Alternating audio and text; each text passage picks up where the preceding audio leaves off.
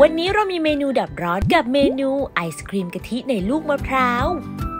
สูตรนี้มีแคลอรี่จากมิตรผล Light Sugar อยู่ประมาณ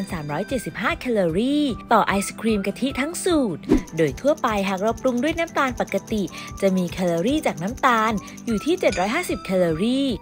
เพียงแค่ปรุงด้วยมิตรผล Light Sugar แคลอรี่จากน้ำตาลก็ลดลงไปถึง